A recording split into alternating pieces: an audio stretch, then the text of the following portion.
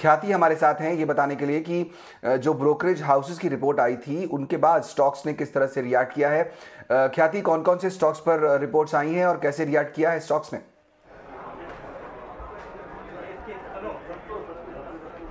सबसे पहले तो देखते हैं आयशा मोटर्स ऑलमोस्ट पाँच परसेंट की तेज़ी से चल रहा है। इस पर आज सी एल एस ए ने खरीदारी किराए बरकरार रखी है। लक्ष्य का है थर्टी थ्री हंड्रेड रुपीज़ का। इवन दो अर्निंग्स मिस हुए, लेकिन वॉल्यूम्स में काफ़ी मजबूती दिख रही है और नियर टर्म में लेकिन कंपनी ने इलेक्ट्रिक मोटरसाइकिल में एंटर करने के लिए प्लान्स नहीं दिए हैं। फिर हैं ए में वन परसेंट की तेज़ी से चल रहा है। इस पर सी ने ए सी सी पे कॉस्ट सेविंग्स और कैपेसिटी को बढ़ाने पे फोकस रखा है। और आखिरी में देखते हैं क्रेडिट स्विस ने ए सी सी पे आउट परफॉर्म की राय बरकरार रखी है। लक्ष्य रखा है twenty two thousand twenty two hundred fifty rupees का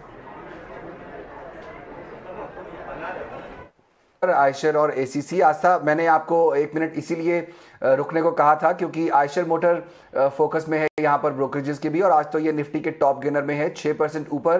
किसी के पास है तो क्या कॉल होगा? क्या मुनाफा जो मिल रहा है वो निकाल ले या फ़िलहाल होल्ड करना चाहिए?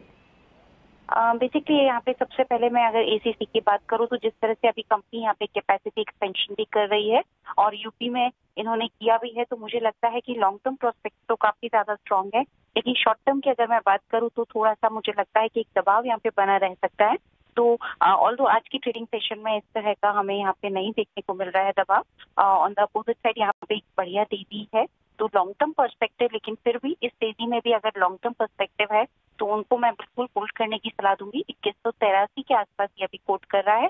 आने वाले टाइम में जो हमें यहाँ पे लेवल्स देखने को मिलेंगे, वो तकरीबन तेईस सौ से साढ़े तेईस सौ के रह सकते हैं लॉन्ग टर्म में। इसी और आयशर मोटर्स पर क्या कॉल होगा आस्था आज वो करीब 2700 के आसपास ट्रेड कर रहा है 6 परसेंट ऊपर। निफ्टी का टॉप गेनर है।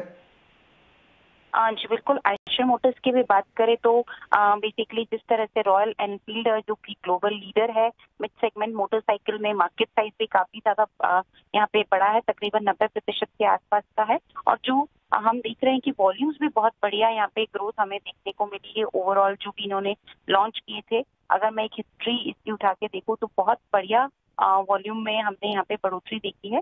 तो मुझे ये लगता है कि आगे जाते हुए जिस तरह से डोमेस्टिक मार्केट में बहुत बढ़िया अपॉर्चुनिटीज़ है, क्योंकि इंडिया की मैं बात करूँ तो यहाँ पे डेमोग्राफिक भी काफ़ी ज़्यादा फेवरेबल है और हाई ग्रोथ पार्ट पे इंडियन इकोनॉमी है, क्योंकि इनकम भी काफ़ी ज़्यादा मिडिल क्लास का राइज कर रहा है। तो कंपनी के प्रोडक्ट्स को यानी कि बेसिकली जिस सेगमेंट में कंपनी है ऑटोमोबाइल सेगमेंट में वहाँ पे एक बढ़िया डिमांड हमें देखने को मिलेगी आयशर मोटर में। तो आयशर मोटर में भी लेकिन लॉन्ग टर्म का ही मैं पर्सपेक्टिव देना चाहूँगी, क्योंकि मार्केट अभी काफ़ी ज़्यादा वॉलेटाइल हो रहे हैं।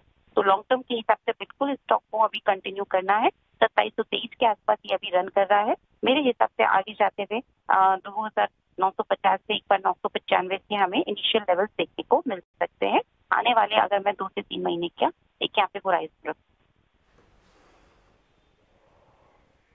ओके okay, तो इस तेज़ी का फ़ायदा उठाकर आप आगे तो बढ़ सकते हैं लेकिन नज़रिया दो से तीन महीने का होना चाहिए। तब यहाँ पर